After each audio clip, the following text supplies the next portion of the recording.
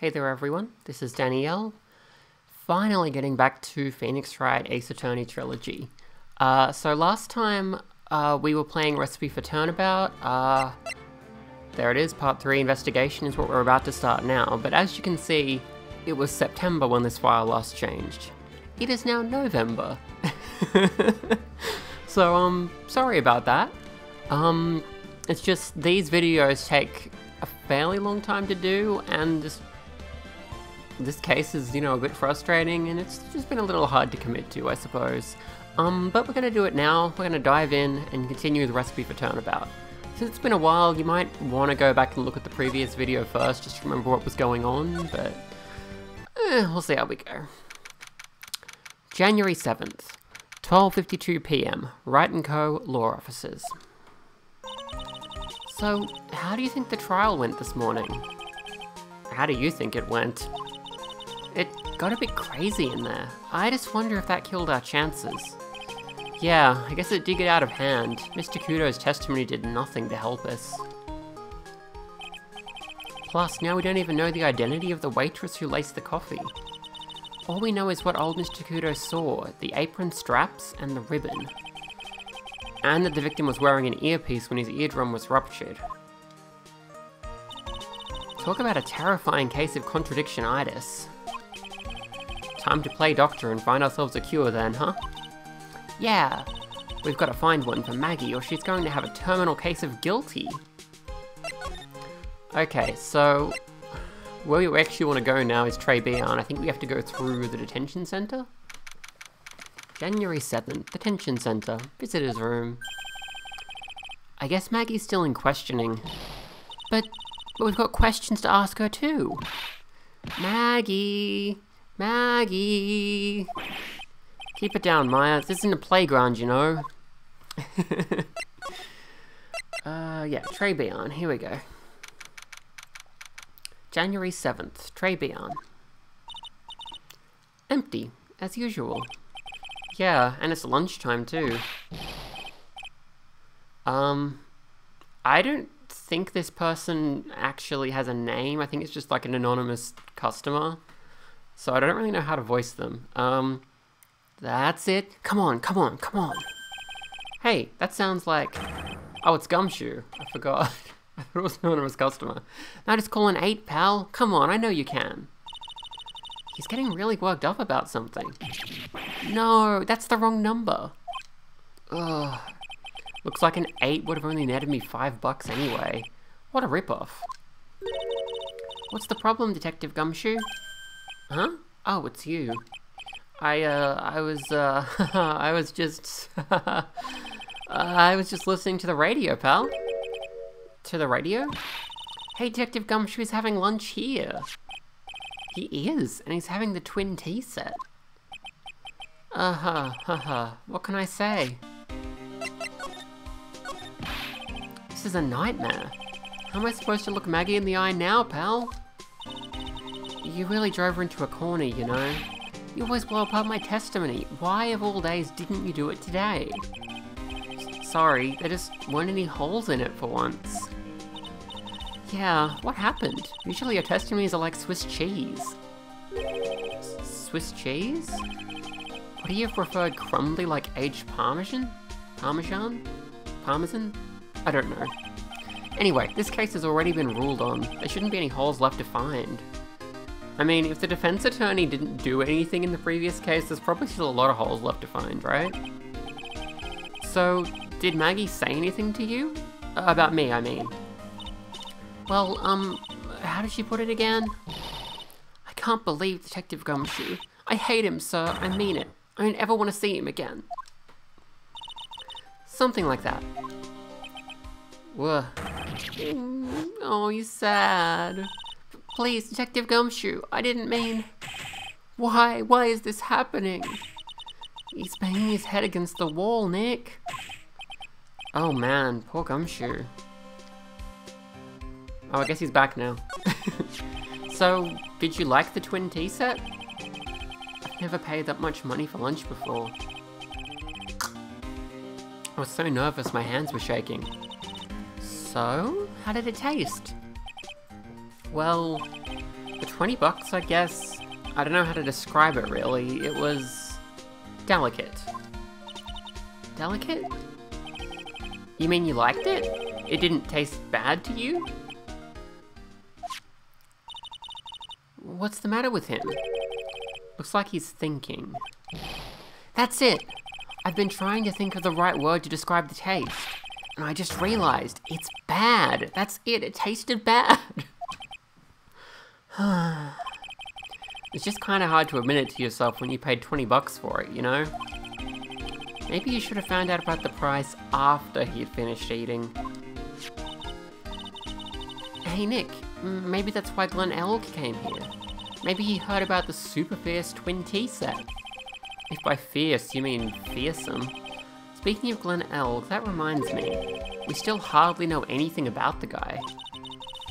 Why don't we ask Detective Gumshoe what he knows, seeing as he's here? We will. But first, the radio. So, what were you all excited about earlier? Huh? Oh, that's right, you said you were listening to the radio or something. Oh, that? That was nothing. I wasn't excited. Come on, Detective Gumshoe, you can tell little old me. What were you listening to? Nothing, really. It was just the, um, daily exercise show. Uh-oh. Detective Gumshoe is a fibber. What the? A Psyche lock? Ah, hmm, this lunch special's lobster sure is great. Is he gonna have more Psyche locks because that was another lie, or...? then why are there tears in your eyes? Okay, first thing we want to do is ask him more about the victim. This guy was a real programming genius. They called him the walking computer at the place where he worked. What happens when he crashes though? Does he just stop moving all of a sudden? Mm, he wasn't literally a computer, Maya. anyway, there's nothing between Maggie and the victim. Yeah, that's what we found out yesterday too. Hey, Detective Gumshoe, don't you have any information that's a bit more fun? Fun? I, uh... Oh, I know. So if you paid a visit to Mr. Elg worked yet, you might as well. His workplace? Where's that? A computer firm called Blue Screens Incorporated, or something like that. Sounds like a real stable company. This could be fun, Nick. Let's go. Computers aren't really my thing, Maya. We'll be fine. I know all about that high-tech stuff. I wonder about that. It's just around the corner from this joint. You should take a look. A computer firm called Blue Screens Incorporated, huh? Uh, we do have to go there, but before we do, we may need to have a bit of a look around. I don't think we have what we need to break the Psyche lock yet. Maybe we do though. Uh...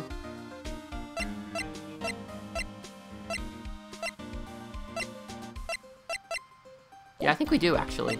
Okay, let's go. Psyche lock time. The radio. Alright, Detective Gumshoe, tell me the truth. What were you listening to? No way, pal. Now that you've made a big thing out of it, I'm not gonna tell you. We'll see about that, pal.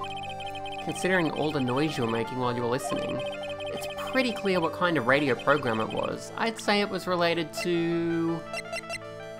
Lottery tickets. I'm right, aren't I? You were listening to the lottery results, weren't you? You thought you'd try to win big, just like Glen Elg did. Uh, it's... It's like you can see right through me. Huh? I've cracked him already? Yeah, I think I thought I needed some more information about the lottery, but I think I get it by breaking this Psyche lock. See, pal? That's why I said it was nothing.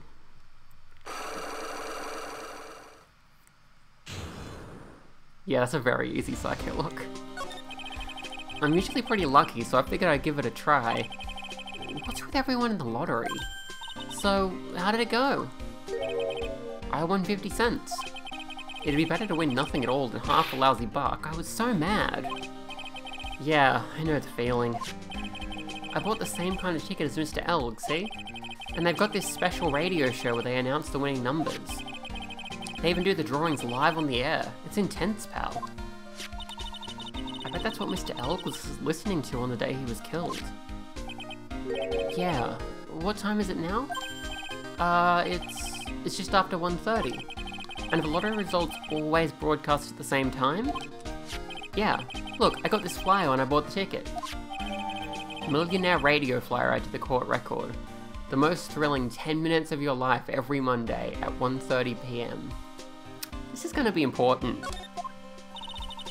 Millionaire radio? That sounds cool. I wanna try it, Nick. Then buy a ticket, Maya, with your own money. Rude. Okay, uh, let's go to Blue Screens Incorporated. January 7th, Blue Screens Incorporated.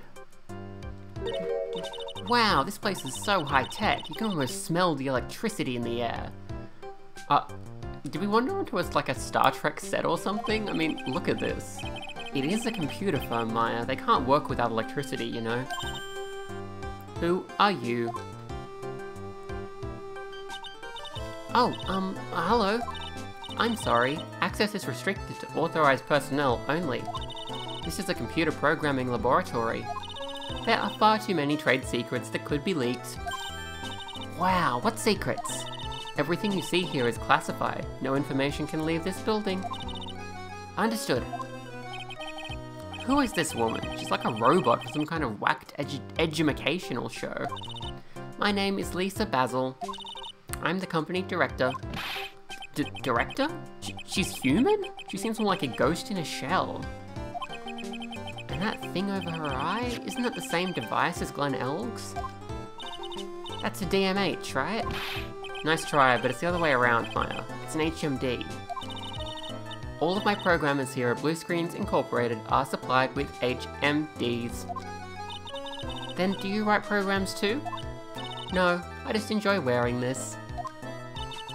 They are pretty cool. I wouldn't mind one.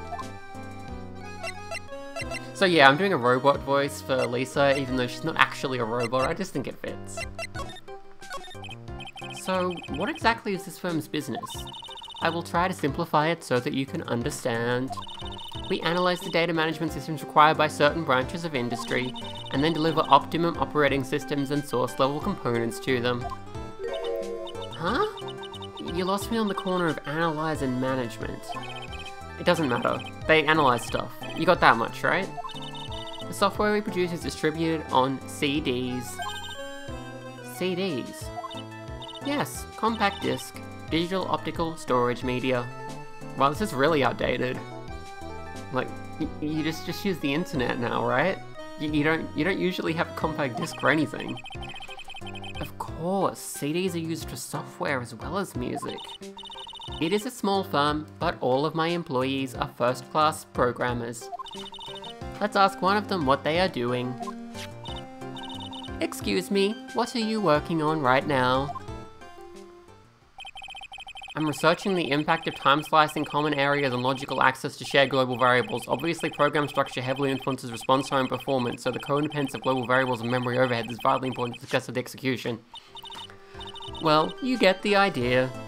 That actually made a decent amount of sense, to be honest. Like, it's not just technobabble, so that was kind of cool. This is the sort of thing we are involved in.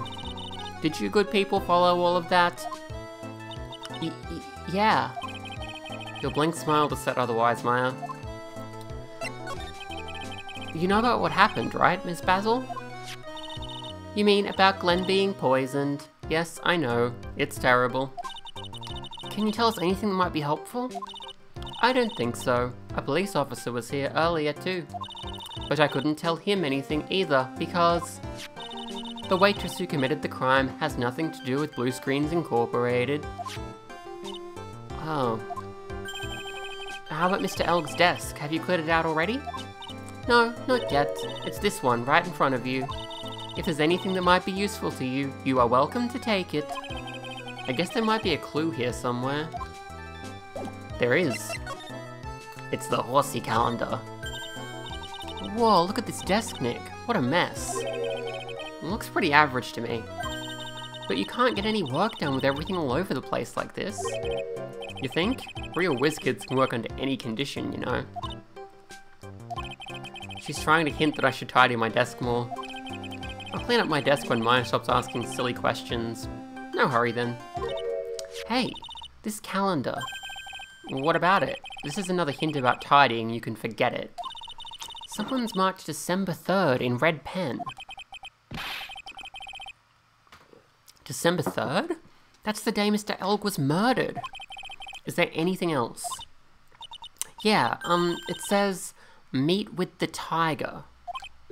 The tiger? Glen's calendar added the court record. I think that's the only thing we need to get here. There's some other stuff we can look at, but nothing of importance.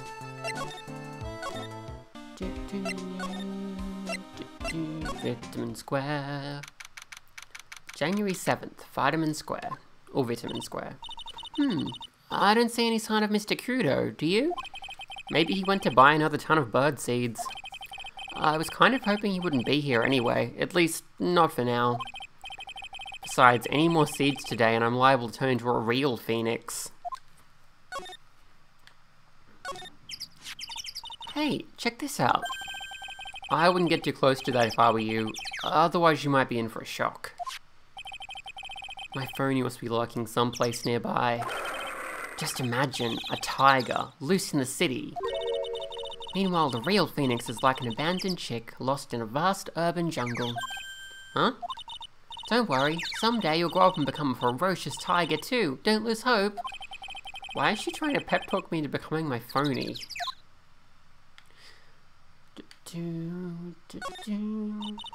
This place is so fruity. That's not a bad thing. Besides, I love apples. They're among my favorites. Then that apple slide is perfect for you. And what is so perfect about it? Oh, come on, don't be a stick in the mud. Slide down it a few times. Go on. Woo! No way. I get covered in sand if I slide down that slide. Anyone can see that. Yeah, you're right. Otherwise, I'd give it a try too. Uh, that wasn't important at all, you can probably tell.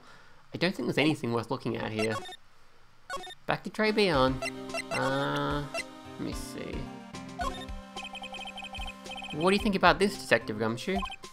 Sorry, pal. I can't discuss anything connected to the case. Hey, I thought you said you were going to help us out. I can't help you out if I don't have any info. Yeah, I suppose the retrial's only just begun.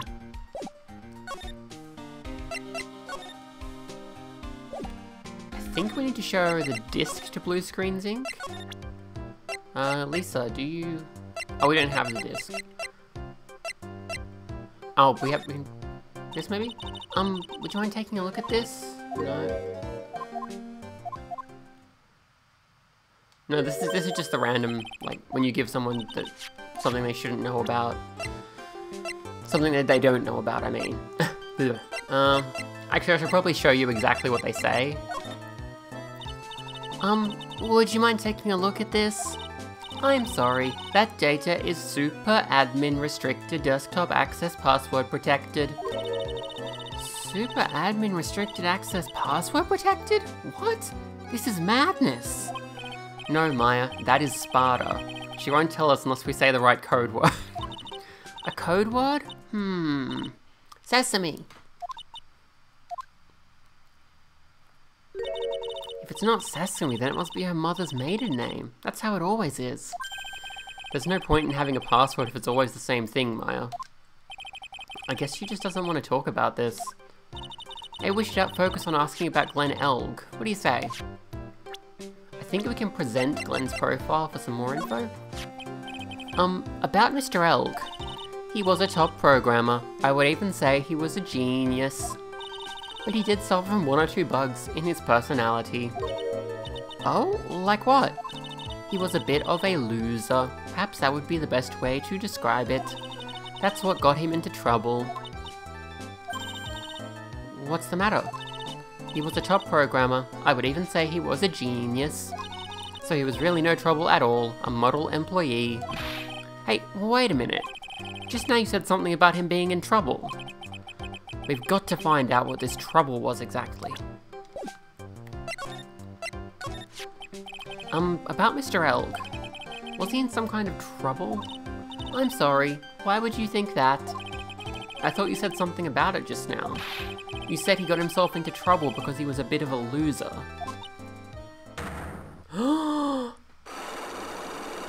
Psyche locks. Three Psyche locks? I guess Mr. Elg is like every other man with his own pile of secrets. We may have enough to open this already. Let's give it a try.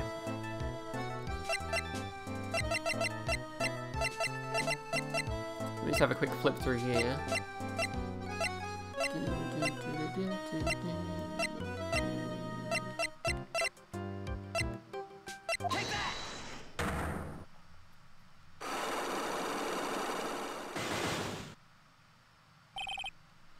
Glenn's troubles.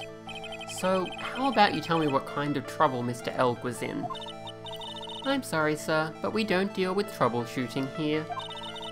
Perhaps you'd like to speak to someone in customer service. What's she talking about? I guess I better just take a shot and see where it gets me. Miss Basil, let me ask you something. Did Mr. Elg's troubles have something to do with this? Uh, think it's to do with the calendar? No. Well, what do you think? I'm not sure. Let's ask one of the programmers. Excuse me, can you answer this man's query, please? The data queue that manages system tasks for troubleshooting requires that a multitasking simulation for local variables is put to sleep whenever the data transmitters are active nodes can be bundled correctly according to the source code. Obviously. So I'm afraid that is the situation, you see. Did you good people follow all that? Not even slightly. What was all that mumbo jumbo? It's exactly as my programmer explained. I'm guessing I picked the wrong piece of evidence there. Yeah, that wasn't right. Would you like to input another question? Um... I think I don't have the information I need yet. Yeah, let's go get some more. I think we need to go... Uh, to the cops. I know, disgusting. January 7th, Police Station, Criminal Affairs Department. Looks like Gumshoe's not here. Never mind that. What's going on? It feels different in here somehow. You think? Yeah, everyone seems to be on edge. What are you doing? Call in the officers for the briefing, quick! Can't you shut down the station's server? Chief, quit playing on the internet. But my email pen pal. Uh, Leet, Leet Asian Princess? I think? Yeah, I think that's how it is. Lead Asian Princess. Save it for later. I'm turning it off now. No, Lead Asian Princess! Everyone's keeping busy in here, huh? Keeping busy? More like panicking if you ask me. Something's going on. Something big. This must be the chief of the detectives here. He looks lost now that the power to his computer has been cut. Oh well, I guess I'll just have to write her a real letter instead of an email. Alternatively, you could write up some reports. Just a suggestion. Dear lead Asian princess, how are you? I'm okay. How was the show last night? Wow, what an awesome job. Maybe I should send you my resume and become chief. Uh, can I talk to you about it? That must be one of the detectives. He's mumbling something to himself. Even pickpockets can have their pockets picked. That's a keeper. Better to go with something that doesn't sound too much like a slogan. He must be coming up with slogans for a crime prevention campaign, but I'm not sure even he knows what kind of crime he's trying to prevent. Okay, um... We need to know what's going on here, but I don't think they're going to tell us just yet. We may need to come back later. As it happens, I do know what's going on, but it's you need to find out before it'll let you progress. So, um... Can I ask Gumshoe about it? I don't think I can. That's the sports paper the victim wrote something in, right? What is it? I know I've heard that name somewhere before. MC Bomber. Yeah, I heard it real recently too. Wow, he actually seems to be thinking for once. Ah, it's no good, I can't remember. And he goes back to being the gumshoe we all know and love. Okay, so yeah, MC Bomber is what's important here. We need to get more information about that if we can. Uh, but I forget how. He's really pounding that keyboard, isn't he? Wow, I bet that's where the pro in programmer comes from, huh? I guess I shouldn't be resting on my laurels, gotta expand my skill set and all that. Yeah, that's a good idea. Maybe I could become old CD's apprentice. Um, and what about your spirit medium training? Uh, that's the same thing, even though I, look, I picked a different person. Uh, at least- oh, here we go. Wow, look at this mess. Looks like they're all betting tickets. What kind of betting tickets? For betting on which horse will win a given race. They're horse racing tickets. Oh wow, his drawers are stuffed full of these. Looks like they're all losing tickets though. Yeah, this, this is what I need. Glen Elg's losing horse race tickets gathered up. This many tickets would get you, what, a buck down at the recycling center? But I didn't know you were so hard up that you try to profit from the dead, Nick. I'm just taking them as evidence, Maya. Okay, yeah, we need to try to break that lock again, now that I've remembered you have to grab the tickets. Just gonna do a little bit of a fast forward because you saw this already. Something to do with all of these lottery tickets. What is that? A bunch of horse racing tickets, all losing ones. With that many tickets, you could get one dollar at the recycling center. You good people are very, very bad. Cashing in on others' misfortunes is immoral. Is that a whiff of hypocrisy I smell? But what is the relevance of these tickets? The victim, Mr. Glen Elg. He had a gambling habit, didn't he? Sorry, he had a gambling habit, didn't he? I don't think that's a logical conclusion based on the facts. Everyone likes to go to the races from time to time. Yeah, but not everyone buys this many tickets. Anyway, I don't believe that proves anything on its own. You're right, but I'm not through yet. Mr. Elg's gambling wasn't restricted to horse races, was it? Well, he also played the lottery. The lottery, horse racing, he bought a lot of tickets and lost a lot of times. That's got to have hurt his wallet pretty bad, don't you think? Maybe bad enough to be the cause of some pretty serious trouble, perhaps? No! You are right, Glen did have a gambling habit. You good people must not follow his example, do you understand? Trust me, even if I wanted to, I don't exactly have the money to buy any. But if you win, there's no problem, is there? And Glen had a winning ticket, didn't he? For half a million dollars? Yeah, but it's hard to imagine how he could have been in trouble then, isn't it? It's true that Mr. Elg won half a million dollars, in the end. But that was his first stroke of good luck. He was in deep trouble before that. Deep trouble? What do you mean? Mr. Elg's real problem was someone or something more terrifying and ferocious. Uh, I think I can just present the calendar? Mr. Elg met with someone the day he was killed. He even made a note on this calendar about the meeting. Meet with the tiger. What is the relevance of that? Are you trying to suggest Glen was meeting him to discuss his debt? Y yeah, that's what I'm thinking. But I've never heard anything about this tiger before. Maybe he's not even human. Maybe he really is a tiger. I'm no programmer, but does she really expect me to buy such messed up logic? In that case, I think it's time to introduce you to the tiger. I, I don't have him in my profiles yet, so I, I have to stop. Damn it. need We need more information. Again. Um, let's try going back here. Uh, Yeah, I don't think there's anything we can do here yet. Hmm.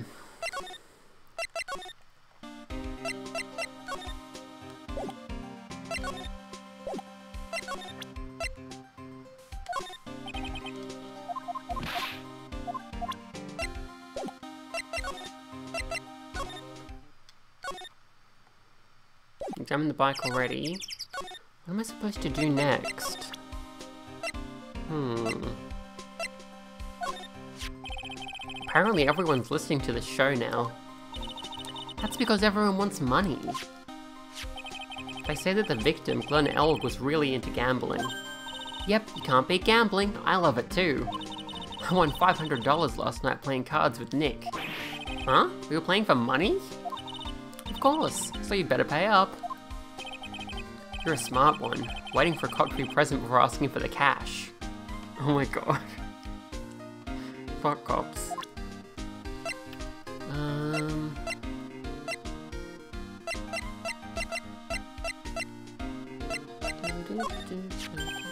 Hey, are you putting this up for sale, pal? N no. Why? Would you want a busted up scooter like this anyway? Yeah, plus the seat's all covered in pigeon poop. Who cares? If it runs, that's all that matters to me. My phony was riding this bike. Maybe if I head back to the park, it'll be there again. I mean, yeah, it is there. We went to the park and it was there. See? I'm a little stuck.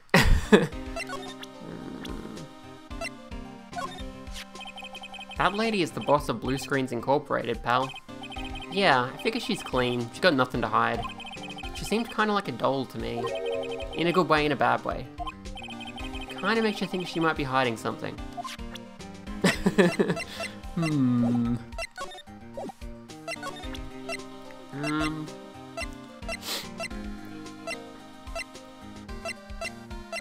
I am not sure what to do at this point.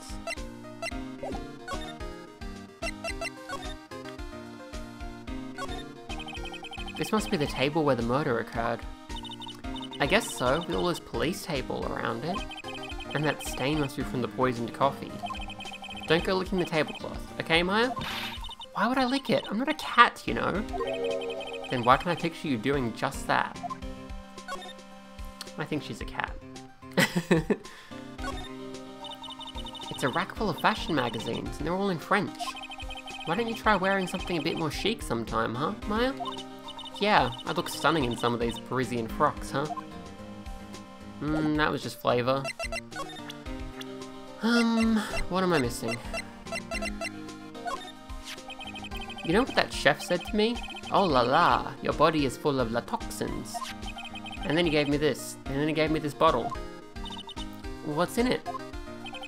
I don't know, the label says juniper. But I'll tell you what, this stuff works like a charm. I slept like a rock last night. Oh, really? That's nice. Well, that wasn't helpful at all. Um, oh, we can go to the kitchen.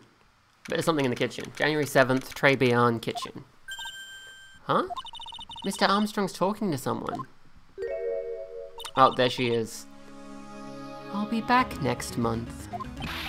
Oui, naturellement. Naturellement, I'll be waiting for you.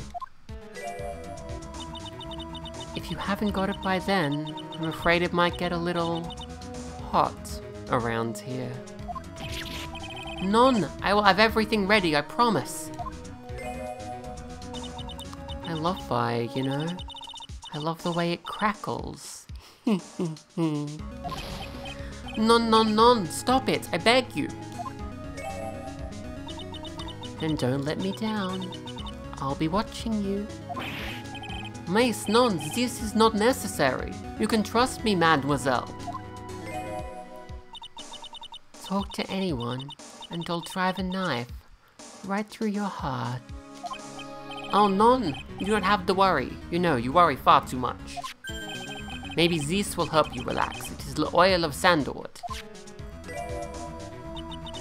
I do love raw meat from time to time. ah. I'll be taking my leave. Goodbye. For now.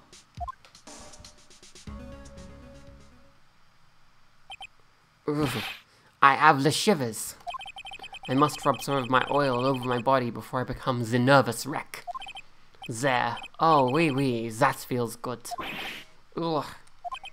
Oh la la, excusez-moi, monsieur. M my eyes, my eyes. Your eyes? You have trouble with your eyes. You need this, the oil of sandalwood. Isn't this just the leftovers of what you were just using? Okay, we just met someone very important, and she's not in our profiles yet. But we need to talk to this guy. You don't exactly have many customers, do you, Mr. Armstrong? None, you are right, monsieur. But perhaps that is the perfect time for you to visit me, non? That's where I can give you my undivided attention and cook for you la dish supreme. Putting on a brave face, huh? That's what girls do, Nick. But you were right, business is very difficult these days. Perhaps the name is the problem. People don't understand it. They think it is trade. I just wanted people to think that my restaurant was exclusive. But they think you just serve fast food on cheap plastic trays? Nick, that's the kind of thing that can make a girl cry. Have you forgotten that Mr. Armstrong is a man, Maya? Yay, shitty gender stuff. Yay. But this restaurant is my life. It is everything to me. I will defend it till the finale. No one will take it from me. So, who was that woman you were just talking to? Oh la la, you saw that? Uh, well, yes, sorry. So, who was she? She looked so polite and graceful. P polite? G graceful? And she likes raw meat and fires, right? I'll be back next month. We, natural element here, we just, we just saw this like seconds ago. If you haven't got it by then, I'm afraid it might get a little hot around here. None, I will have everything ready, I promise. Now that I think about it, hey Maya, I think it's pretty clear what kind of conversation they were having. You think so? Well then let's show him that piece of evidence and see what happens.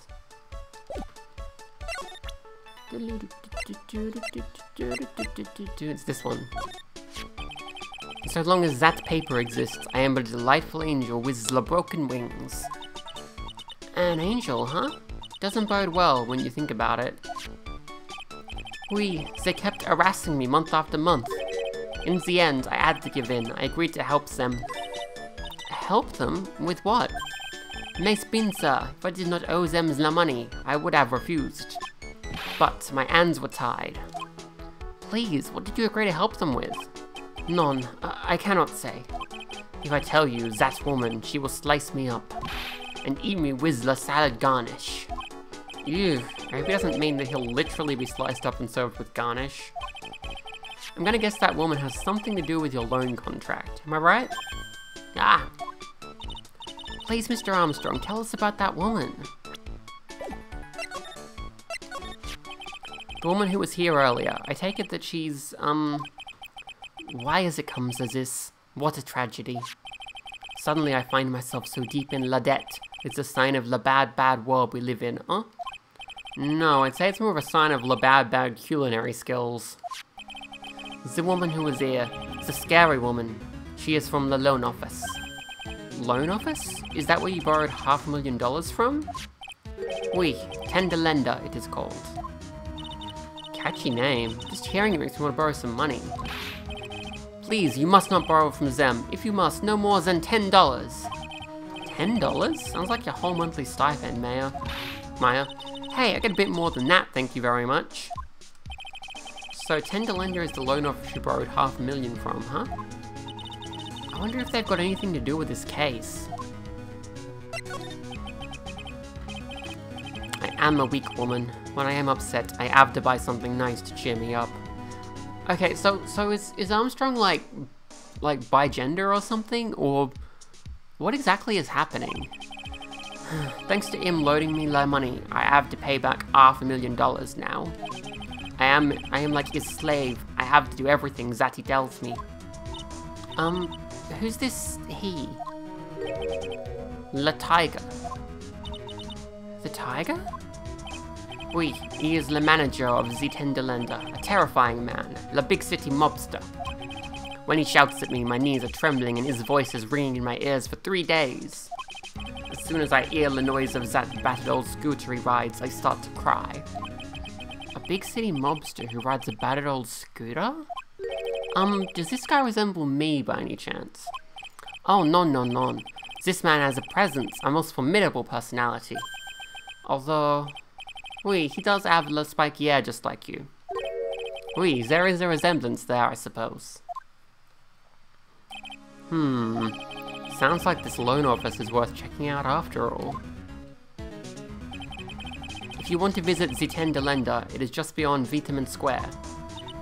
Hey, Nick, if you need money, I can loan you some, as long as it's less than $3. Um, thanks for the offer. Just beyond Vitamin Square, huh? Okay, we can now go to Tender Lender, which is, as you might guess, very important. Well, I'm gonna head back to the precinct now. We've got a big meeting starting in a bit. About Maggey's case, you mean? No, that's pretty much wrapped up now. There's another big case going down at the moment, so she's been pushed aside. Okay, well, see you later then. Bye.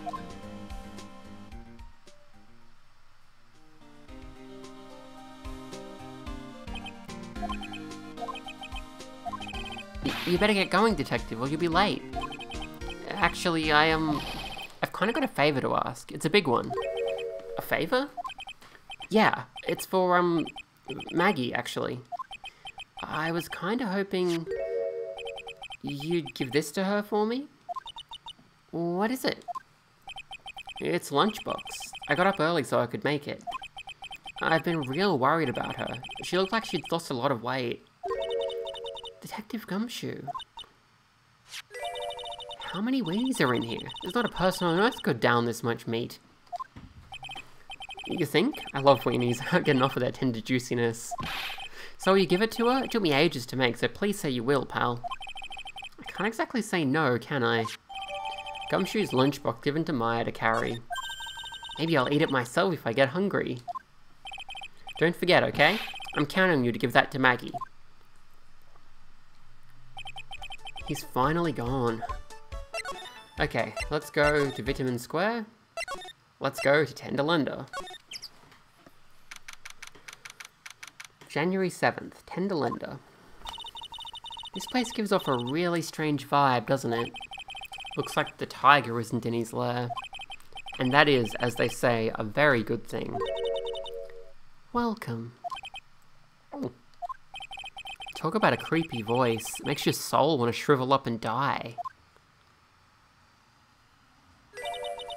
You're here to discuss a loan? Uh, no, not exactly. The manager is away at the moment. Wait quietly, please. She's gone, just like that. I guess we'll just have to come back another time. This is the perfect opportunity, Nick. This place reeks of suspicion. Come on, Nick, let's take a look around, okay? Do you think it'd be okay? Course. No one will ever know.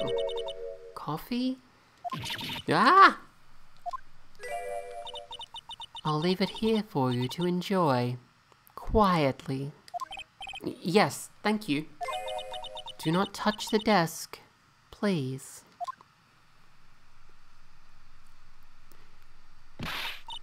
Nick, let's get out of here. Now she wants to get out of here. Okay, uh, as you might guess, this is a very important place. Let's have a look around. Oh no, someone's dropped the ashtray on the floor. That's gonna be a nightmare to clean up. Yeah, it's all over the rug and everything. I accidentally knocked over a really big space heater once. Cleaning up was such a pain. It was one of those super antiques we have to burn a ton of charcoal. How did she manage to knock one of those over? Aren't they supposed to be super heavy? Oh hey, there's a book of matches here too. Matches, huh? Places don't give those out much nowadays. Hey, wait a second. What is it? Look what's printed on its cover. It says Trés Bien. Trés Bien matches added to the court record. These matches could come in handy. We might be able to use them. Yeah, the pilot light for the office boiler keeps going out. Swing and a miss, Maya. Swing and a miss. Uh, we also care about this disc here. There's a CD player on the desk, but the desk is so loud it's a wonder you can hear it. The lid's open. I wonder what kind of music the tiger's into. Have you finished? The coffee? Ah! Y yes, thanks. It was lovely. So, you drank it all?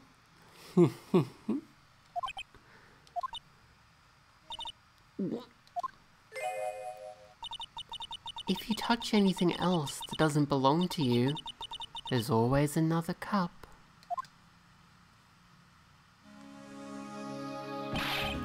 That coffee, it, it, was laced with something, I'm almost sure of it.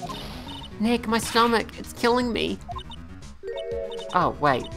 Maybe it was just the burger I ate for breakfast. Uh, I sure hope so. We better take a look at that CD while we're still alive and have the chance. What the? What? It's not the Rocco soundtrack, is it? Claw of the Tiger? It's... it's a demo CD. The artist's name has been handwritten on the disc in pen. MC Bomber. What? This must be the CD Maggey told us about. Let's listen to it. I bet it's heavy metal. No way. That woman will make us drink more coffee if we do. MC Bomber added to the court record. Oh my. Uh, let's see, this round doll thing is called a Daruma, I think. Daruma? I figured I'd read a book or two and be more cultured in case you're wondering. You mean you aren't making stuff up for a change? I bet you also didn't know that no matter what, he'll always right himself. Go on, Nick, give him a good shove. Only if I feel like dying. Now, this yellow thing, this is a Japanese chess piece. I think it's a king? Not that I'm an expert or anything, I'm more of a Reversi person, you know? Assuming she knows what she's talking about, these aren't exactly your typical mobster wannabe items. They're not trophies, are they? Oh. Hey, there's a piece of paper sticking out from under here. What is it? A repair bill? Looks like he did some repair work on his car. Does he even have one? $15,000 to replace a bumper and a light? That's insane. The car's registered to the Cadaverinis. Huh? So it's not even the Tiger's car? Why would someone else's repair bill be in the Tiger's office? Repair bill I just court record. uh, and this jacket. Hey, look at this Parisian style coat. It's so chic. Looks like more of a pimp coat to me, because I haven't got an eye for fashion. Hey, look at this. This suit is the same color as the one you wear, Nick. Hmm, the same color as my suit? Ah! Keep your voice down, Maya. N Nick, you've got to take a look at this. Some cake? Ah! I'll just leave it here for you. Uh, yeah, sure, I, um, thanks. Just wait here quietly. Otherwise... Sh sure. Did you hear that, Nick? Wait quietly, she said. Y yeah, sure. I have my eye on you, only so I can take care of you. Understand?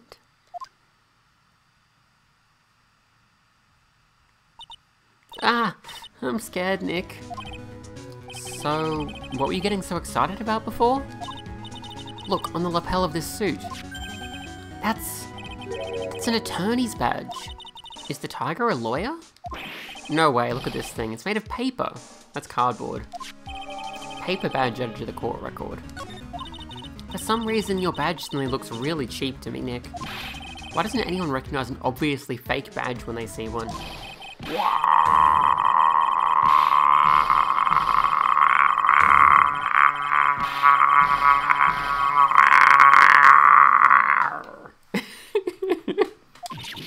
Ah! Come out from under the desk, Maya. What are you two snooping around in my office for? N nothing. We were just... my precious carpet. You's got ash on my rug. You're gonna wish your ugly faced feet never came through my door. It wasn't us. It was already like that. Yous wanna argue with me? Is that what you're doing? You think yous can take me on?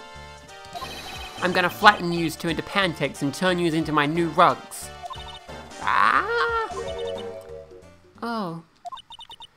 Don Tigre, you're back. that voice, it's like evil seeping into your head through your ears. I'm sorry, Don Tigre.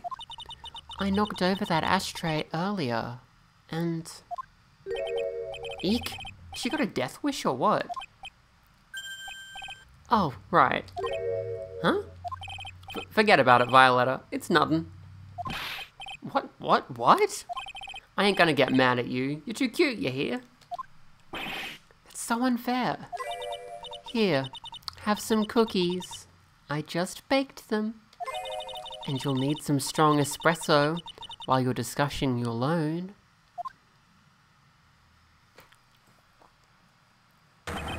Wow, Phoenix Wright. Y yes? You's either crazy or just plain stupid to chase after me. I worked so hard, but now you's gotta come and mess up my plan. So it was him. He's my phony. but I don't care. No one gets in my way. What? I mean, excuse me? you should have left the little girl at home, right? Um, I have a few things I want to ask. Ah! No questions. This is the last time we meet. Ack, wait, but please.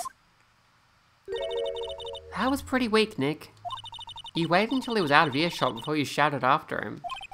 Like you're one to talk, I didn't hear you scream hold it either. The espresso.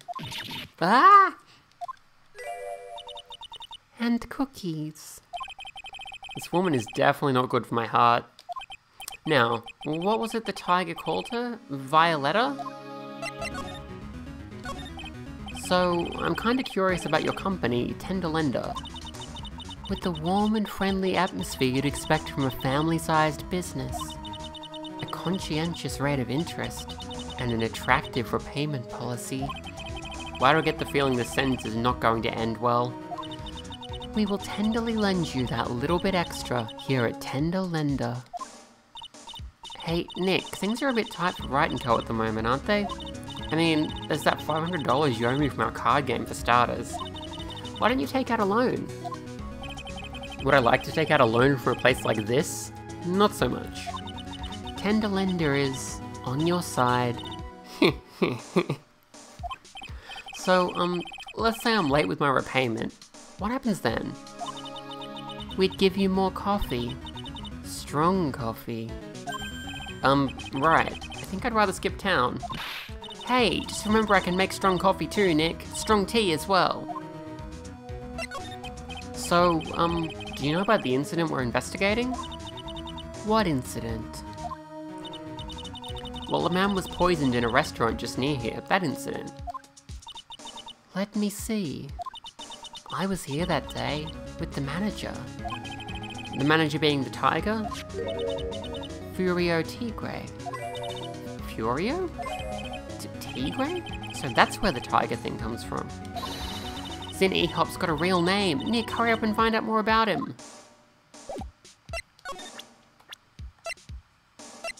What do we know about her now? We only know that her name is Violetta.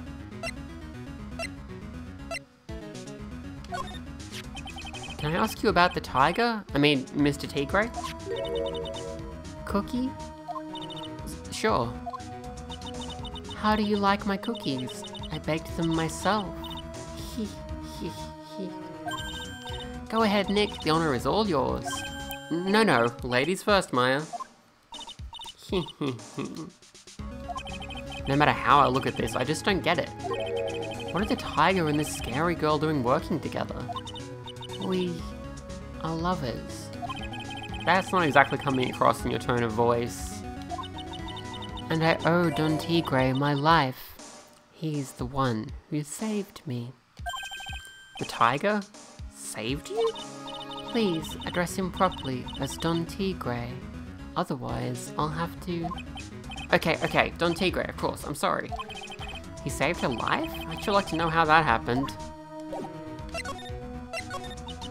I'm very frail, you see. Just recently, I died once. you died? About four months ago. The doctors said to abandon all hope. I guess they were expecting her to take a boat ride across the River Styx. But Don Tigre, He saved me. He gave up everything. Everything? When I found out what he had done for me, I was happy. No offense, but I'm finding that a little hard to believe. I decided I'd pay him back with my life by serving him coffee and espresso. I still wonder about what's in her coffee. So, is that why you've got that bandage around your head? this? Um, so what's the story with the bandage? They put it on after the operation. Operation? It's just a little injury. A little fatal injury. a fatal injury? I'd have suffered one herself by the sound of it. So that's the injury you were talking about before when you said you had died once? Maybe it wasn't.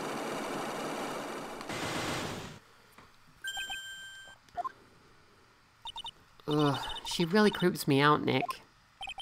Same here, but we've got to find out the truth. Uh, I think before we can get the truth out of her, we need to get some more information elsewhere. January 7th, Vitamin Square. There he is, old Seedy's back feeding the pigeons again. There, take this and this and get out of my park. Like I thought, he's really mad. Come on, Maya, just keep your head down and let's sneak away while we still can. What? Why? Hello, old man. What are you doing, Maya? Huh? Gah. Hey, he just turned his back on us. I'm not surprised. I bet I really heard his pride in court this morning. Hey, Mr. Kudo. Hmm, ha, hmm, hmm, hmm, p -p pigeon. Hmm, ka. Look, we really need to talk to you, alright? Out with the demons, in with good fortune. Ow, ow, ow, seeds, shell splinters, painful. I always knew you were a demon, Maya. Rude. Uh... I don't think we actually need to talk to him. We want to go back to Blue Screens Inc. And have another shot at this.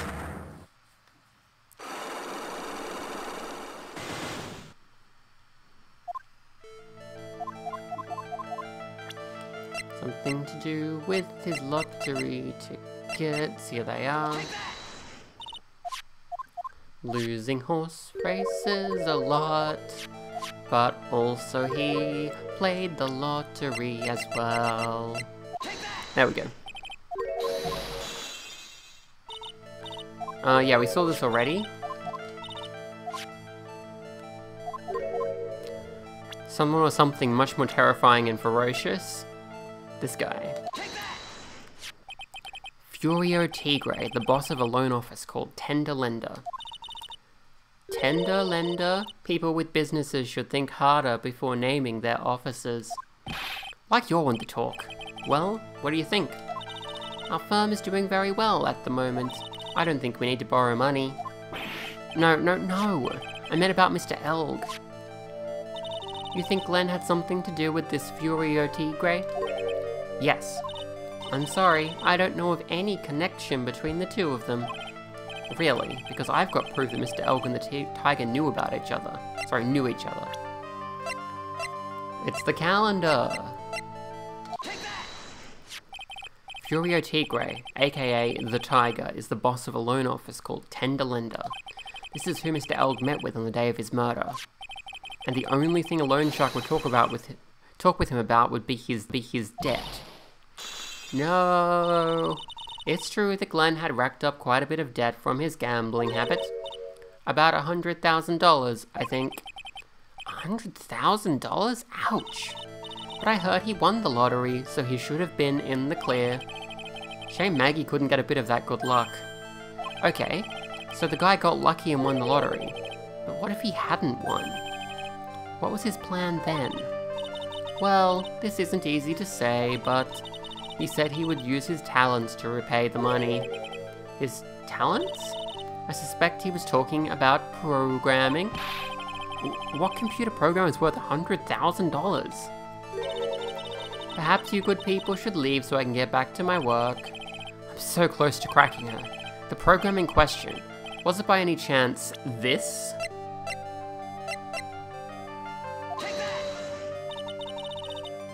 Uh, that it is that is what it is. I must have presented the wrong piece of evidence, but that is the correct answer. This is a very delicate matter. Without the necessary data, there's really no way I can access the information. okay, I, I, just need to prove that that disc is actually MC Bomber before I can present it here. Even though I know it's MC Bomber. This is frustrating. Uh, I think I need to go back to the Criminal Affairs Department?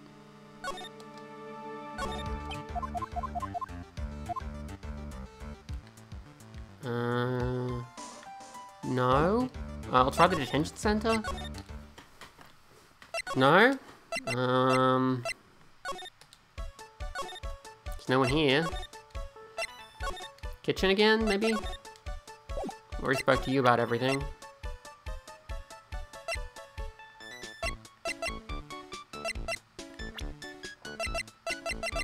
I can ask about these people now. Does that help me? Um, about this. Felicitations, mas quase I don't know how to read that. I can't French. Je, je ne comprehend. Nick, don't just make something up. Okay, if I ask him about either of these people, he doesn't seem to know about them, even though he clearly knows about them. So that's a bit weird. Um... What's this? It looks like a treasure chest or something. Wow, look at all these little, little bottles. Oh, they're aromatherapy oils. Got so many they're overflowing onto the floor.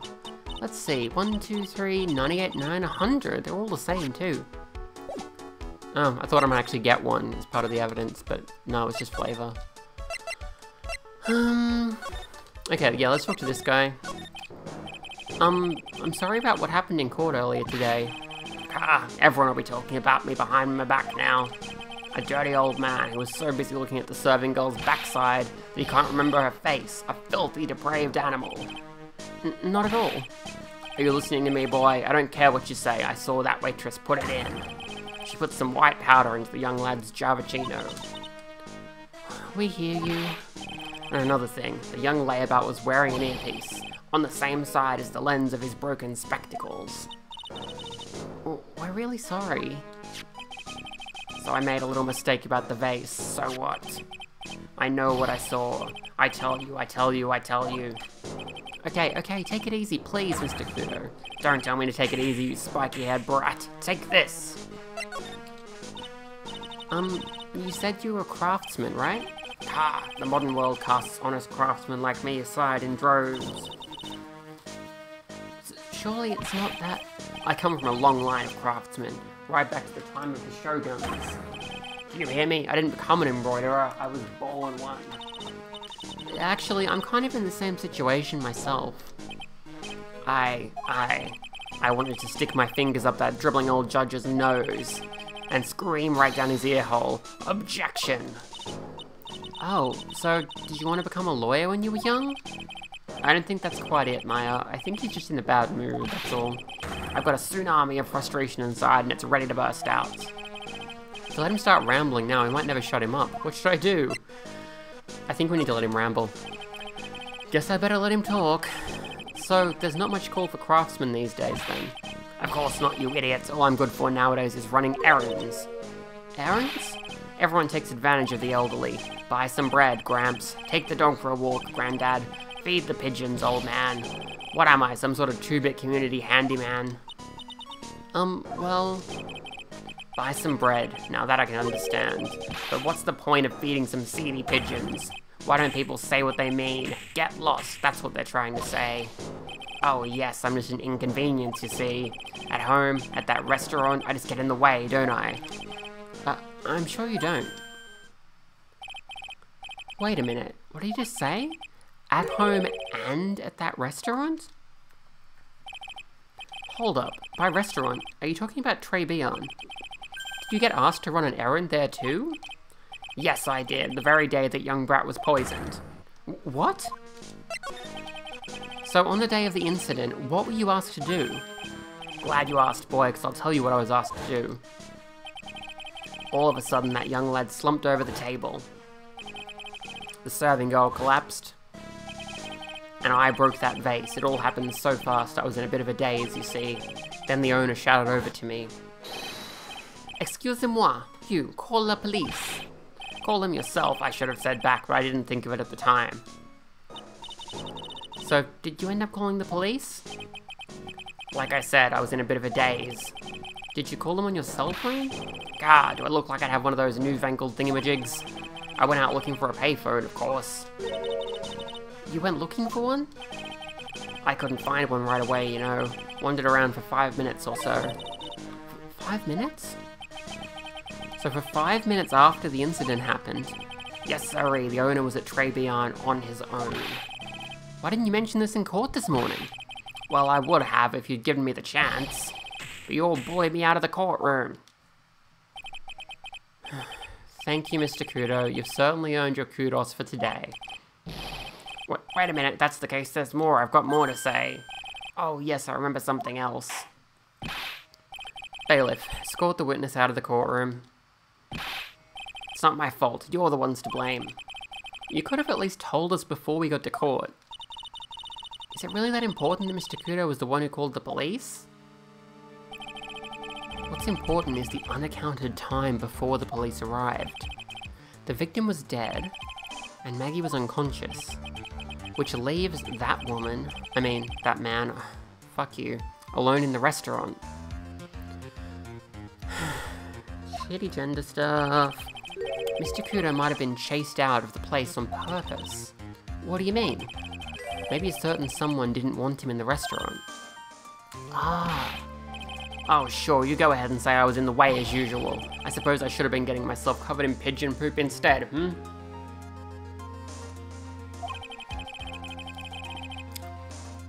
We need to get more details about what exactly happened from Maggey and from Mr. Armstrong.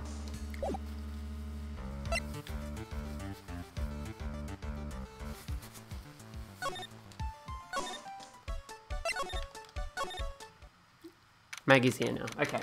Can proceed with the with the investigation. Oh, Mr. Wright. Hello, Maggey. So they finished questioning you? Wasn't just unbelievable in court today, sir? I'm gonna stay up all night and blog about everything that happened. Weren't you scared? It was pretty touch and go in there. Yeah, but you totally nailed that old man. Well, he was all over the place with his testimony. He's not the only one. Huh? What do you mean? Everyone else's testimonies don't match up either. Not with what I remember of the incident anyway. Is it possible she is the one misremembering things? Maggey, you know how you said that everyone else provided testimony that doesn't match up with what you remember? Yup, there are just so many things that don't seem to add up. The biggest contradiction is the other guy I saw at the victim's table. He was the one who slipped something into the victim's coffee, I'm sure it was him. But didn't Mr. Kudo testify earlier today? That it was the waitress who put some white powder into the coffee cup? So you really think it was this, this, this disappearing man that did it? Well, he's not the only thing that disappeared. The CD vanished as well. You know, the CD with the writing on it. Oh yeah, the MC Screwdriver album, right? It was MC Bomber, Maya. That name was scrawled on the sports paper as well. They never did find that CD at the crime scene, sir. Or the victim's medication. That's gone missing too. Ouch, my head. It's getting way too complicated for me. You said that you passed out when the victim, Glen Elg, collapsed, right? Yes, it's so embarrassing. I mean, I used to be a cop. I'm so glad you're not a cop anymore, babe. I love you. When I came to, the restaurant was buzzing with police. Ugh. And before I knew what was going on, they arrested me, sir. Hey, cab. So between the time the victim collapsed and the time the police arrived on the scene, you have no idea what went on at Trés Bien. No, no idea at all. Why? Is it important, Mr. Wright? The other witness, the old man from the park, was pretty much chased out of the picture. Chased out of the picture? What do you mean? Old Seedy wasn't inside the restaurant because he was told to go call the police. Exactly, and you, Maggey, were unconscious. That means Mr. Armstrong was alone in the restaurant for a brief period of time. No. Y you don't think Mr. Armstrong set me up, do you? When you consider the facts, it's hard to imagine that Mr. Armstrong isn't involved in this at all. Urgh. It's like the master biting the paw of the dog that it feeds.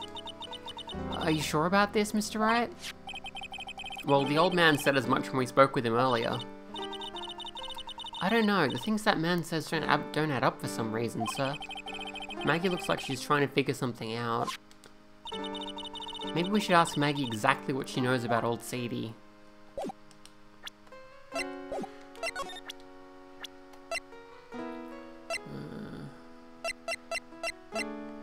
where is he? This guy. oh, I feel much better after the trial this morning. I've been a bit of a courtroom proceedings addict for years now. It feels like forever since I saw a witness as slippery as that old man. He's not really that bad of an old man, though. Still, I feel a bit uneasy. Huh? I thought you just said you felt much better. Maggey, if there's something on your mind, you've got to tell us especially if it has anything to do with Mr. Kudo or his testimony. Roger, I'll spill it all and see what you make of it. Is there anything about Mr. Kudo's testimony that stood out as odd to you? Actually, yes. The fact that he was even testifying to begin with doesn't quite... Doesn't quite... what? Well, when I took the coffee over to the victim's table... It's true that there was another customer in the restaurant, yeah, we know that already. It was Victor Kudo. But I can't really say it was an old man. Okay, then how about calling him a really old middle-aged man? No, age isn't the issue. The other customer was a woman. A woman? Are you sure, Maggey? Well, I'm not 100% sure, but I think so. So, what did this woman look like? Um, she was sort of creepy, and she had a kind of cackling laugh. Creepy? Cackling? Why do I get the feeling I've come across a woman like that recently?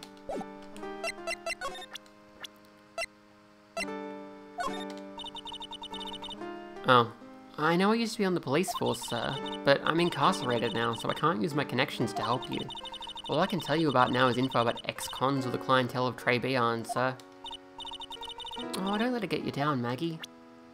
Okay, so actually showing her uh, Viola doesn't actually help. Um, we'll get to that. Uh, we don't need to come here yet. We will need to go there to find out about MC Bomber, I'm pretty sure, but it's just not happening. Kitchen. January 7th, Trés Bien, kitchen. Looks like Mr. Armstrong's out again, but the place is open for business. You can't have an open restaurant without a chef. Hey, it's not my fault, Nick. Don't take it out on me. Only a couple of minutes after the incident happened, Mr. Kudo left the scene, leaving Mr. Armstrong here alone. Ugh, missing when we need to talk to him the most. Maybe he's trying to avoid us on purpose. Uh, I don't think there's any clues in here.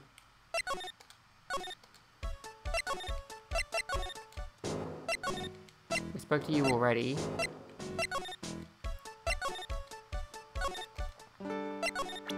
Anything else we can ask Maggey about? Ah, is that your attorney's badge? Actually, it's a fake. Holy smokes, that's it! Huh? That's the badge your phony had, Mr. Wright? You got duped by this? But it's a completely different color. And what about the fact that it's made of paper? He said the badge got a tan as well while he was in Hawaii on business. I'm beginning to see how my phony was able to gain her trust.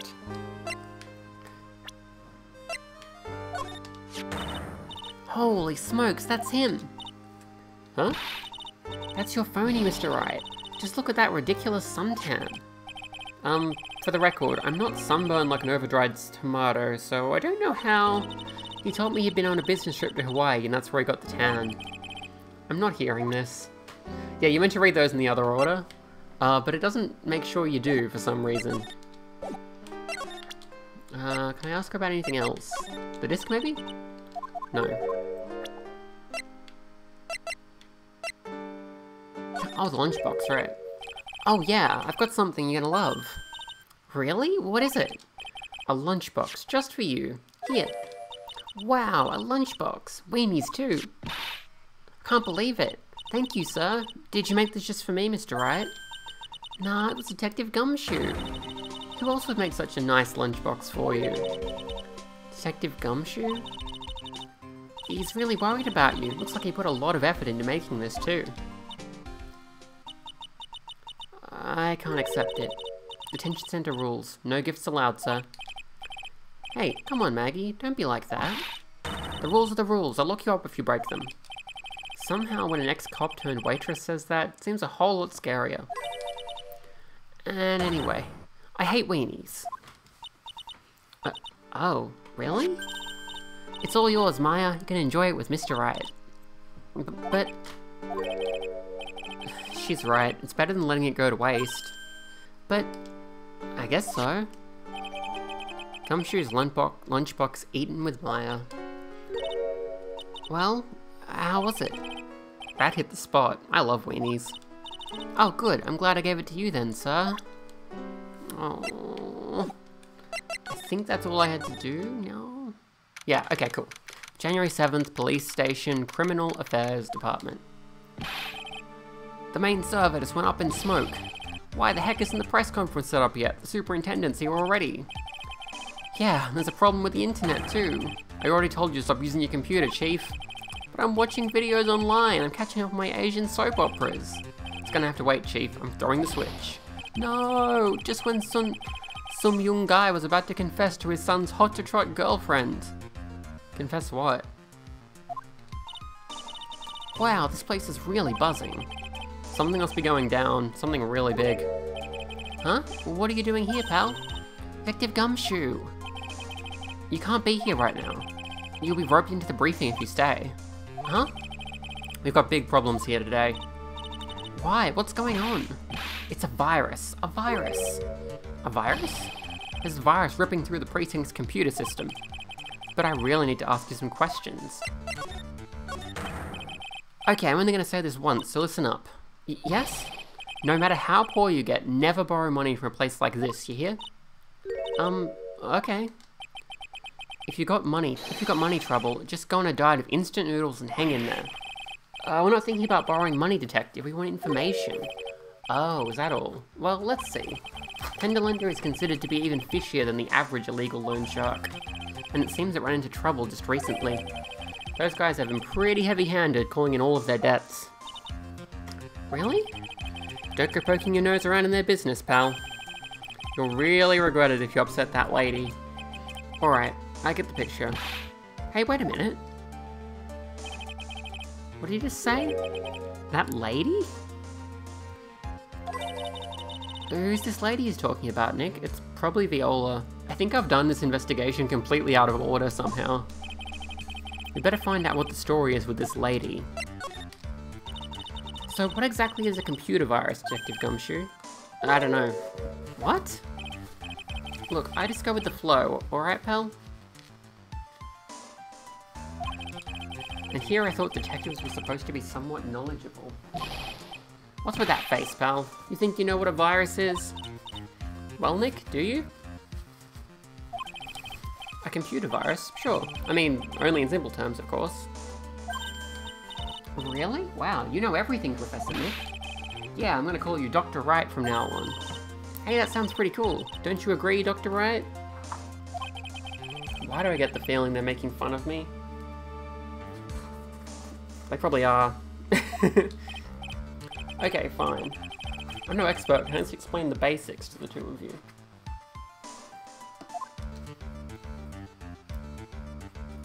It's kind of weird to think about people not knowing what a computer virus is in the modern day.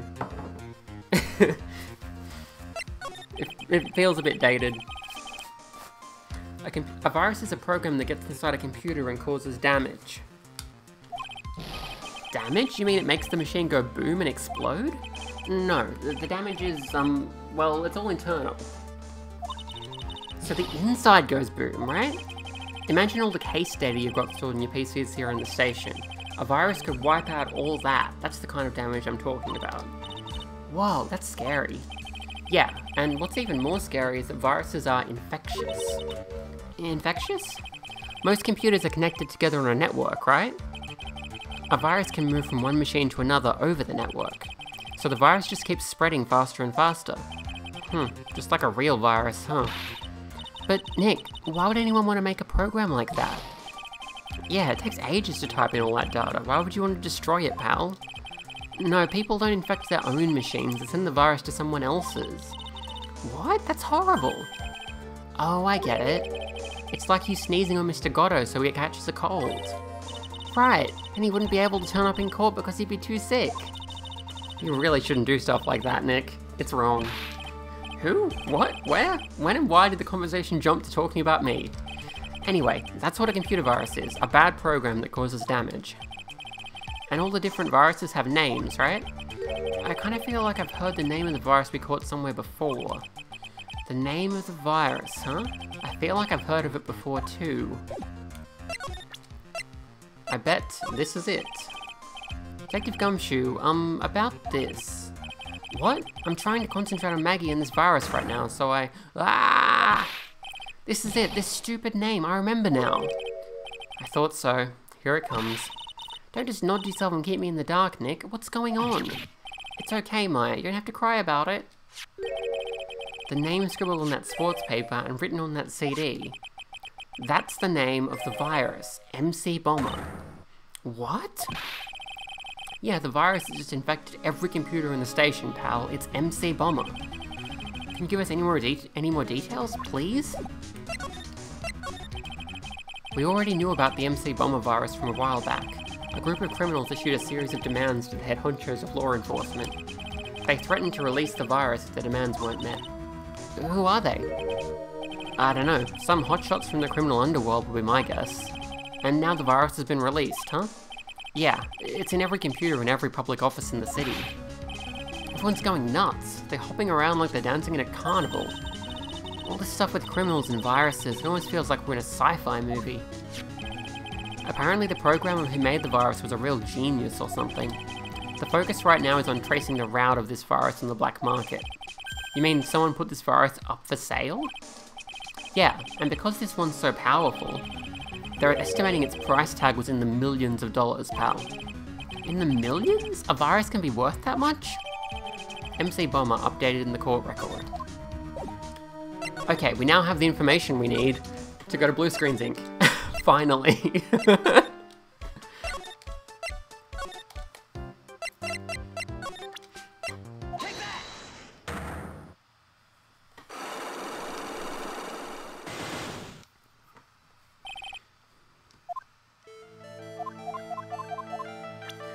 His troubles had to do with the lottery tickets, which are on this page. Losing horse race tickets, yes, yes, yes.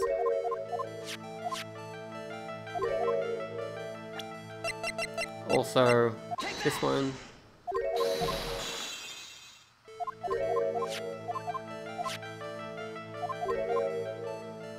Some something terrifying and ferocious. It's this man.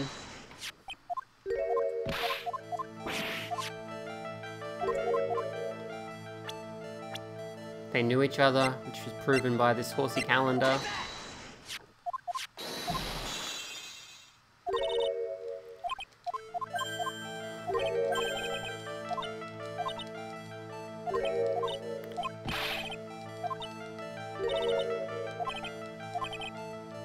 The program in question, was it by any chance...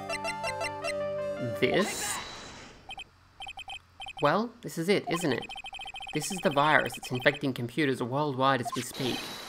MC Bomber. No. Yes, it is.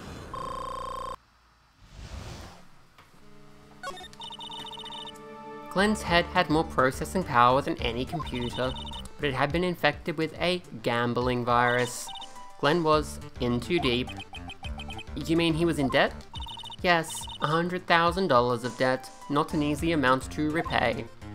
So, he said he was taking on some extra work, something a bit risky. Risky? How? Maybe he was going to become a waitress at Trés Bien? Where do you come up with these ideas? So it's safe to say Mr. Elg was the creator of this virus, huh? The MC Bomber virus? Yes. It was a work of genius, in a bad sort of way, of course, but still genius. Something like that would probably fetch several million dollars on the black market. Inconceivable. Gumshoe was right for a change. This date, December 3rd, that is marked on his calendar. That was his deadline for repaying his debts. MC Bomber updated in the court record.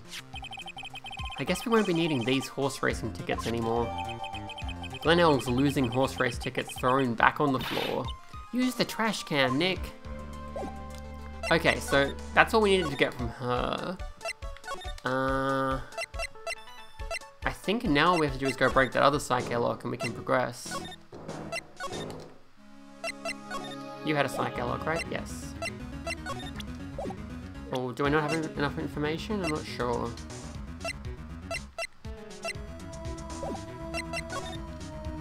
Hmm. I might just see if I can talk to Mr. Armstrong first, but I think I can't. Yeah, I didn't think so. Okay. Well, let's just make our way back. Navigating between all those different places gets annoying. Uh, let's see.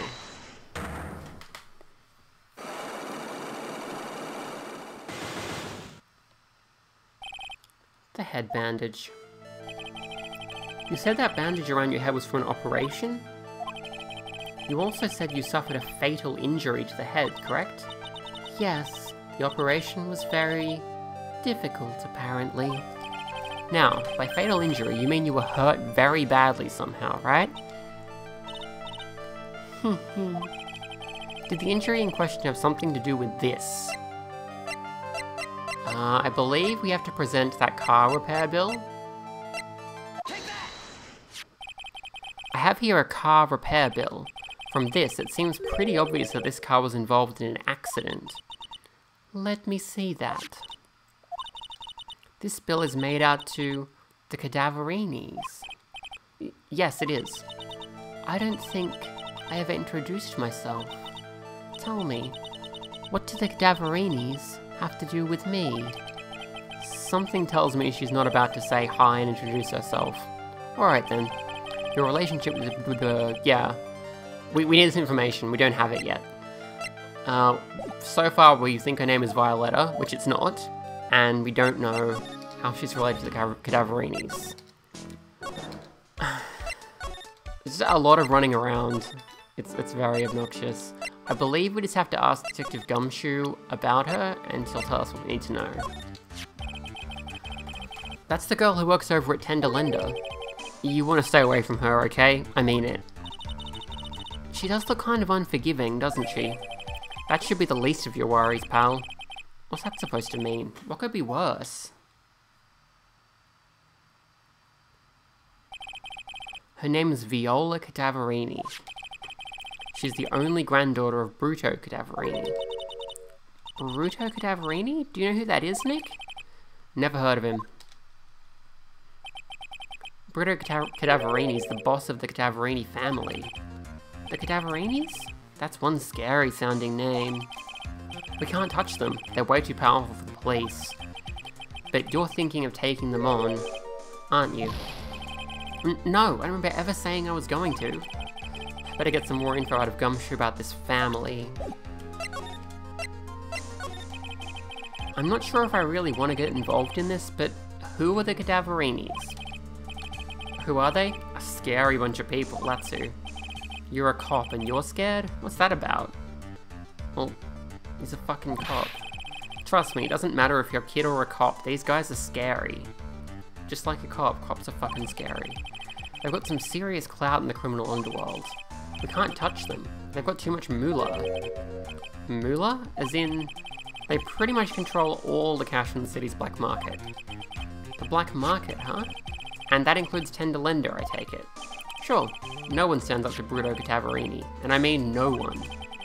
Interesting. So Viola's the granddaughter of some mafia boss then? Yeah, and everyone knows how much Bruto loves his little girl. She means everything to him. So, how did she end up at Tender Lender?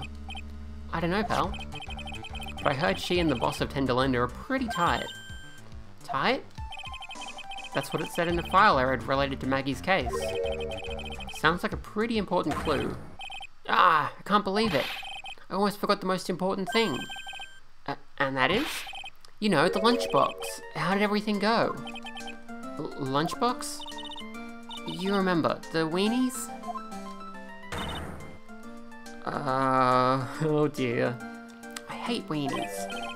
Oh, yeah, those weenies. So, how did my weenies taste when they went down the hatch? Huh? Um, well, it was delicious. Yeah, that's what she said? Really? Um, well, not exactly. Don't worry about it, pal. I figured something would happen, so I came prepared. Prepared? What do you mean? I made a jumbo lunchbox. Oh.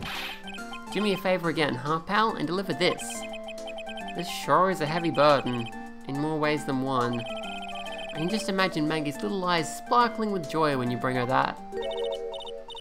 Weenies again, Nick? Tell me we don't have to eat all these too. Gumshoe's lunchbox given to Maya. Again. I really can't eat anymore. Maggey's not here, so I can't give her the lunchbox yet. Uh, let's go to visit Viola again, and now that we know who she is, we should be able to discover the truth of what happened to her head. Hello, Viola. Okay, so first up, the car accident, so we need to present the bill from the repair.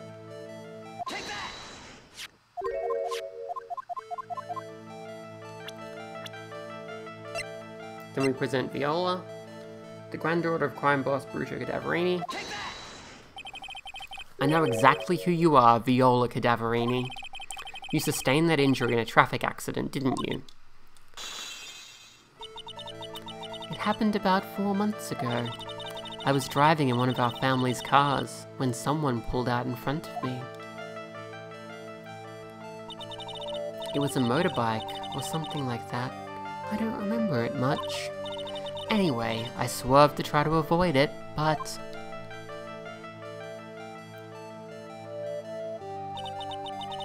I took a blow to the head, a bad one. Yeah, I can imagine. Ugh. So, what happened to the person on the bike? I'm guessing they didn't get away with injuring the Viola Cadaverini, right? I don't know what happened to them. They ran away, or so I heard. Ran away? If they'd stayed, I'd have... Is it possible? Could the person who committed the hit and run have been... It wasn't a hit and run. Like, it was an accidental, like, pulling in front of someone else's car. It's a different thing to a hit and run. It was this man, wasn't it? He was the cause of your, of your accident. It wasn't Don Tigre. I refuse to believe it. We collided, the motorbike and my car. But Don Tigre isn't injured at all, is he? It was the tiger who caused Viola to crash. I can feel it. Plus, one of her locks just broke, so she must suspect it was him too. I'm sorry, Ms. Cadaverini, but I have proof that the tiger was involved in a traffic accident on his bike. Well, look at the bike, it's like wrecked.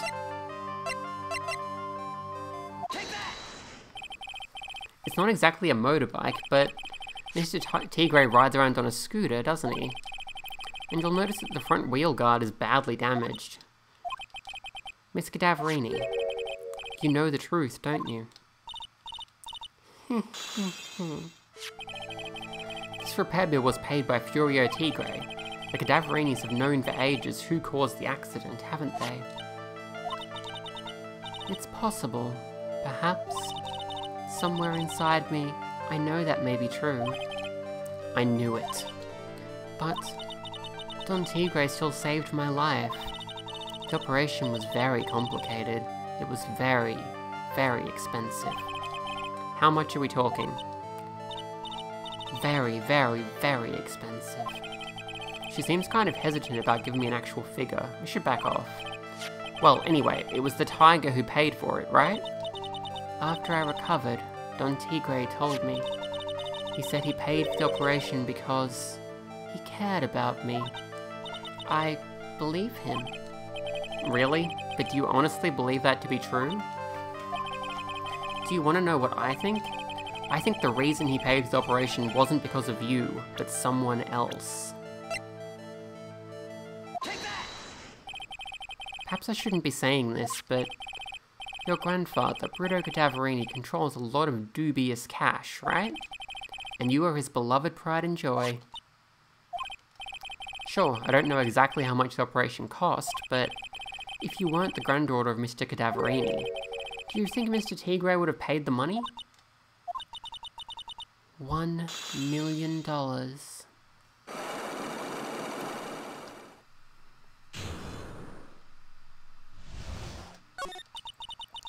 Four months ago, I was in a traffic accident. That's why I needed the operation. When I woke up, they told me it was nothing serious. A simple procedure. Oh, really? Well, I guess if she recovered in four months, it couldn't have been too big? They said the operation cost one million dollars. A, a, a million bucks? My grandfather ordered Don Tigre to pay one million dollars in compensation. Compensation, huh? It's underworld lingo for paying money to settle a score. Basically, pay or get into some serious trouble. But a million bucks? This has to be related to our poisoning case somehow. I wanted to believe him. I wanted to trust what Don Tigre said. He said it had nothing to do with my grandfather being Bruto Cadaverini. I wanted to believe he helped me because he cared about me, not about my grandfather. But I knew that wasn't really true.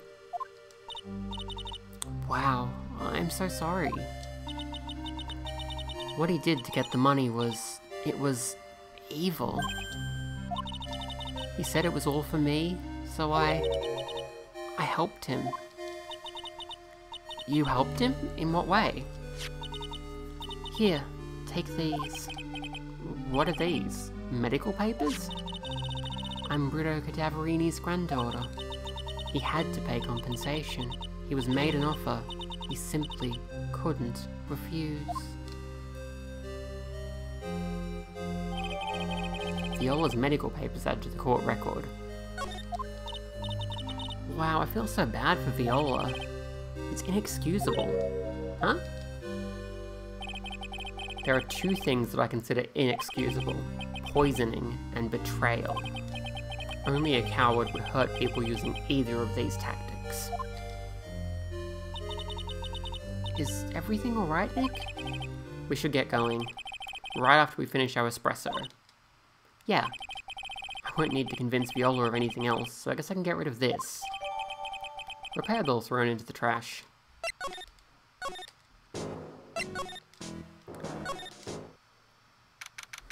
January 7th, Trés Bien. Hey, bonjour. I have been waiting for you to return. Mr. Armstrong. Ah, good timing. I was hoping to find you here. We'd like to ask you a few questions. Well, he hasn't got anything to say to use, fellas. Ah, it's Zinny Hop. Who you calling Zinny Oop? Ah! Come out from under the table already, Maya. Okay, hand it over. What? You just want to play games with me? I don't recommend that. The medical papers, now. Uh-oh. I think he wants Viola Cadaverini's papers back. You mean this? The million dollar medical papers? Ms. Cadaverini trusted you. That's why she said that she helped you. Forget about it. That girl's dumber than an eggplant. Yous wanna know what's sad? I'll tell yous what's sad, and it ain't only her face. She thinks she's got power because she's Bruto's little girl. Now that's sad. I can't let you have these papers. Tomorrow in court, I'm going to expose what you did to get the one million you used to pay this off. Are you crazy or something? I don't care if you want to give it to me or not. There's two of us here. You got that. Two. Uh, we, we, oui. Mr. Armstrong? Forgive me. Désolé. I cannot argue with him. Uh, ugh. That really hurt. Is that all you've got? I'll be taking those papers now. Armstrong, get that lighter. Wait! Don't take it too hard. Phoenix Wright. So stupid. I shouldn't have let my guard down. Those medical papers were vital evidence. Hold it, pal. Detective Gumshoe? D detective? You think you're gonna stop me, copper? Beat it. Gwah. Whoa. Come on, Gumshoe. Keep it together. You guys, get out of here. Leave this guy to me. B but, go, pal, and take this. If you get hurt, who's gonna look after Maggey, huh? Uh, alright. Thanks, Gumshoe. Wait, Nick, don't leave me behind. I'll get even with that guy tomorrow, in court. Tender Lender is going down. Oh gosh, what a video. Ugh, to be continued. So yeah, I forgot how to do this investigation segment and it took probably about a half hour longer than it should have. it's still super long though. Next time, part 4-1 trial. Oh my goodness. Thank you for watching. I hope you enjoyed. You probably pretty much know exactly what happened at this point based on the information you have. Um, but if not, you know, feel free to have a bit of a guess. Uh, next time, yeah, we're going to lapse into the trial and solve all the mysteries once and for all and hopefully bring some justice down on the, the jerk man, bad guy, Red Phoenix. Bye.